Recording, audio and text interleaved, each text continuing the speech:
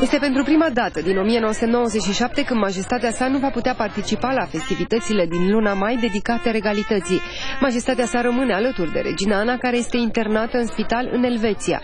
Casa Regală a transmis un comunicat. Datorită stării fragile de sănătate reginei Ana, majestatea sa regele și alteța sa regală principesa moștenitoare au decis să stea alături de majestatea sa regina în Elveția pe perioada sărbătorii Paștelui. La sărbătorile regale de 10 mai vor lua parte altețele lor regale principesa moștenitoare, principele Radu și principele Nicolae, precum și sora principelui Elisabeta Carina. Monarhiștii au transmis mesaje emoționante pe rețelele de socializare, unde au format grupuri de susținere a Casei Regale. A fost lansată și pagina de Facebook alături de regină.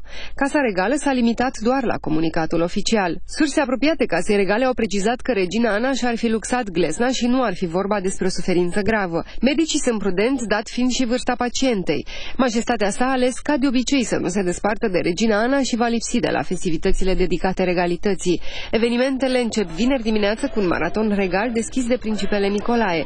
Principele Radu se va afla la Academia Română la o dezbatere despre rolul monarhiei în modernizarea României.